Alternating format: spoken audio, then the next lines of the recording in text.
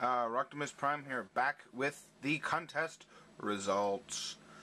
Um, only one person entered in my contest, so this is pretty much a uh, giveaway to him.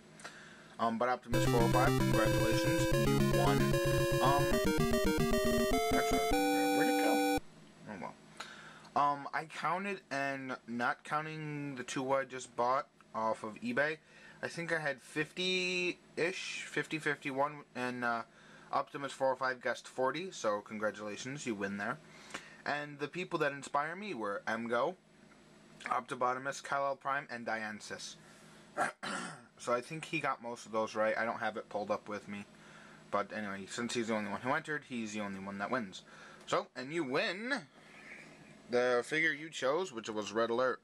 I talked to you earlier on Facebook, and you said that you wanted this mold um, along with the sticker set for it from Repro Labels. So I'll get that out to you. Congratulations. But uh, congratulations, dude.